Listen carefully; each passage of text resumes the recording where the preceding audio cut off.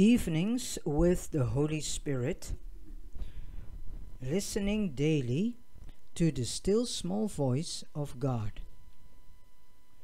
Today, do not be afraid to speak up.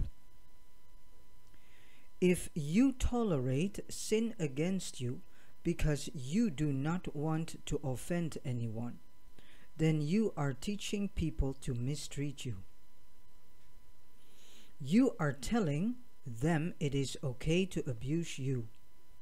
Don't be afraid to speak up when the sins against you are damaging or dangerous. Speak the truth in love and be willing to cut ties with those who are intent on bringing trouble, drama, and chaos into your life. I have healthy relationships for you but sometimes you have to let go of the toxic ones to see them. Related scriptures Matthew 18, verse 15, Ephesians 4, verse 15, 1 Corinthians 14, verse 33. Prayer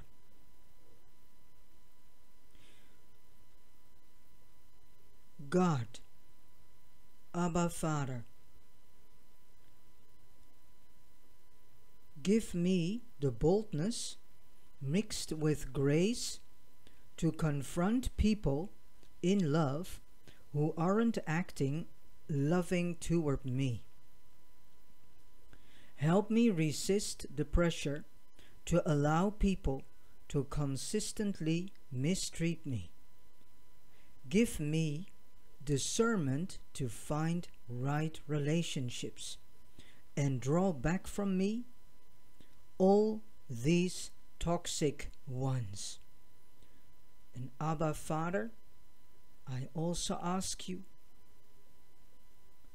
to give me the courage to break these ties with toxic people